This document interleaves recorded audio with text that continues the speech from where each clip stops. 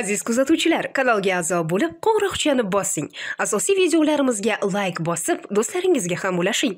Bu bilan siz xan academy o'zbekning rivojlanishiga va ommalashishiga o'z hissangizni qo'shgan bo'lasiz. Bugungi darsimiz davomida biz siz bilan darajali potensial hosil bo'lish mexanizmini o'rganamiz. Darajali potensial hosil bo'lish mexanizmini o'rganishdan oldin keling.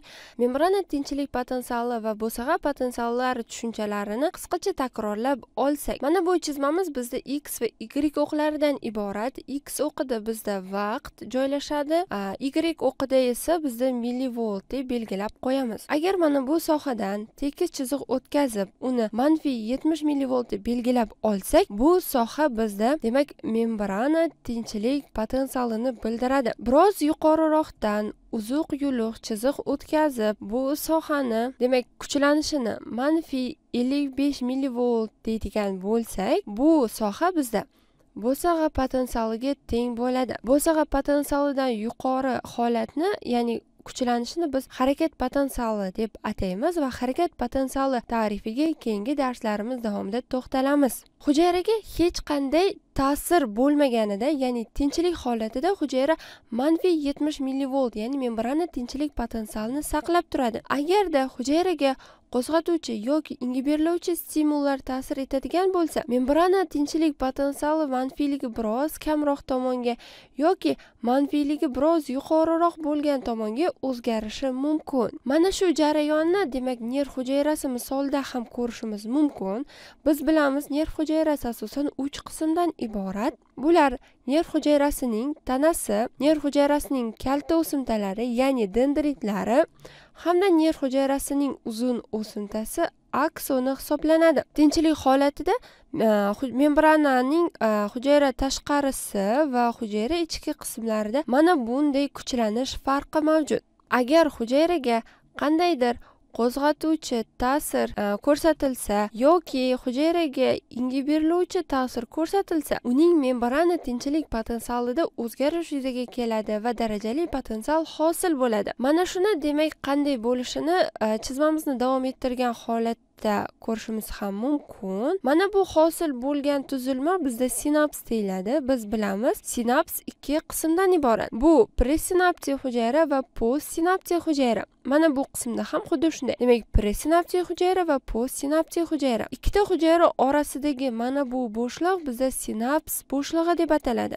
Pressinaptik hujayradan kelayotgan impuls ta'sirida pressinaptik hujayraning akson oxirida joylashgan mana bu kabi neyromediatorlar sinaps bo'shlig'iga ajralib chiqadi. Xuddi shu jarayon mana bu sohada ham kechadi. Va mana shu neyromediatorlarning vazifasiga to'xtaladigan bo'lsak bu neyromediatorlar hujayra membranasida joylashgan retseptorlarga bog'lanadi. Bu retseptorlarni demak mana bu tarzda aks ettirib olishimiz ham mumkin. Retseptorlar ko'rib turganimizdek qandaydir mana bu kabi kanalga joylashgan va bu kanalni biz demak ligand darvozali kanallar deb ataymiz. Mana bu bizda kanal bo'ladigan bo'lsa mana bu demak retseptor hisoblanadi. Mana shu retseptorga kelib neyromediator bog'lanadi. Retseptorga bog'lanuvchi molekulani biz ligand deb ataymiz. Mana shu ligandning bog'lanishi natijasida esa kanalning demak kirish qismini berkitib turgan mana bu kabi darvozalar ochiladi. Shu boisdan biz bu kanallarni ligand darvozali kanallar deb ataymiz. Demak mana bu neyromediatorlar kanaldagi retseptorlarga bog'lanadi. Xuddi mana shu jarayonni demak biroz kattalashtirilgan holatda ko'rib chiqamiz. Mana bunday. Mana bu ko'rib turganimiz bizda neyromediatorlar ya'ni pufakchalar tarkibida joylashgan neyromediatorlar hisoblanadi. Va mana bu qism bizda presinaptik hujayra oxiri. Mana bu qism esa bizda postsinaptik hujayraning boshlanish qismi mana bu tuzilmalar esa ligand darvozali kanallar hisoblanadi. Hujayraga kelayotgan impuls ta'sirida mana bu e, pufakchalar membrana bilan bog'lanadi va ular sinaps bo'shlig'iga ajralib chiqadi. Ularni mana bunday tasvirlashimiz ham mumkin. Ya'ni mana sinaps bo'shlig'iga bizda neyromediatorlar ajralib chiqdi va ular mana bunday demak e, ligand darvozali kanallardagi retseptorlarga bog'lanyapti.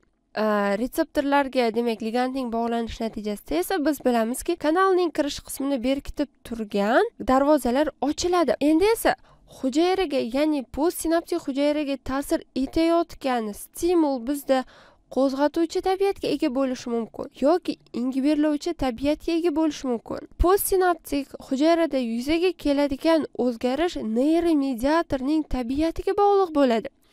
Agarda bu neyromediator qo'zg'atuvchi neyromediator bo'ladigan bo'lsa bizda kanallarning ochilishi natijasida hujayra ichiga demak musbat zaryadli natriy yoki kalsiy ionlari kiradi. Bu ionlarning hujayra ichiga kirishi natijasida esa hujayra tarkibida mana bunday musbat zaryadli ionlar miqdori ortadi va bu ionlar bizda hujayra ichi kuchlanishda o'zgarish yuzaga keltiradi. Tinchlik holatida hujayradagi kuchlanish manfiy yetmish millivolt bo'lganda biz bu holatni membrana tinchlik potensiali deb ataymiz. Agarda hujayra tarkibidagi demak musbat yo'llar miqdori ortadigan bo'lsa bu kuchlanish biroz kamroq manfiylashadi ya'ni musbat tomonga qarab siljiydi. Ammo bu ko'tarilish bu siljish davomiy bo'lmaydi va kuchlanish yana qayta membrana tinchlik potensialiga tenglashib qoladi. Buning sababi mana bu kabi kanalga bog'langan neyromediator o'z vazifasini bajarib bo'lganidan keyin retseptordan ajraladi. Ligandning ajralish natijasida esa mana bu kanalning darvozasi yopiladi va ionlar kirishi to'xtaydi. Musbat ionlar kirishi to'xtaganidan keyin esa bu musbat ionlar hujayra ichida to'la tarqalib ketadi va ular neytrallanib qaytadan demak membrana tinchlik potensialiga teng bo'lib qoladi. Mana bu holatdagi ingibirlovchi neyromediatorlarga yoki ingibirlovchi stimulga diqqatimizni qaratsak. Postsinaptik hujayrada ingibirlovchi ta'sirini bizda ingibirlovchi neyromediatorlar keltirib chiqaradi. Bu neyromediatorlarning ligand darvozali kanal retseptorlariga bog'lanishi natijasida bu kanallarning darvozalari ochiladi va bu kanallar orqali hujayra ichiga manfiy zaryadlangan xlor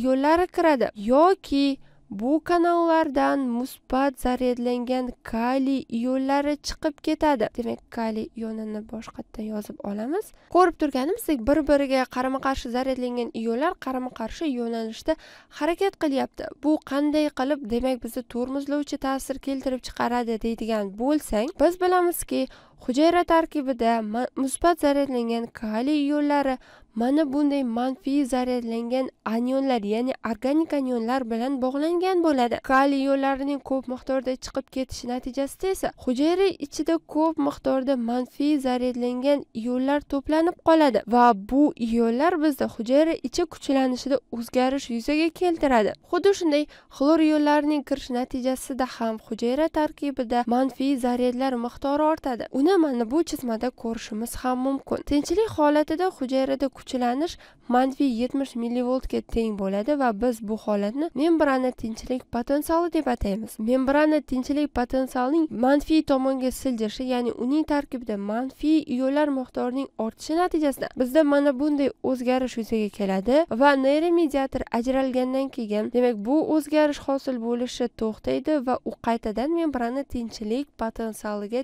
teng bo'lib qoladi. Bizda yana bir demak potensial mavjud. Bu potensial bo'sag'a potensiali deb ataladi bo'sag'a potensiali bizga ma'lumki manfiy ellik besh millivoltga teng bo'sag'a potensialining ahamiyati shundan iboratki mana bu kabi kichik demak kuchlanishga ega bo'lgan darajali potensiallar yig'ilib yig'ilib bo'sag'a potensialiga yetib borganida bizda harakat potensiali yuzaga keladi demak darajali potensiallarning yig'ilishi esa bizda summatsiya hisobiga hosil bo'ladi va zamondagi hamda makondagi summatsiya tushunchalarini biz oldingi darsimiz davomida batafsil o'rgangan edik. Demak biz bugungi videoyimiz davomida darajali potensial hosil bo'lish mexanizmini batafsil ko'rib chiqdik.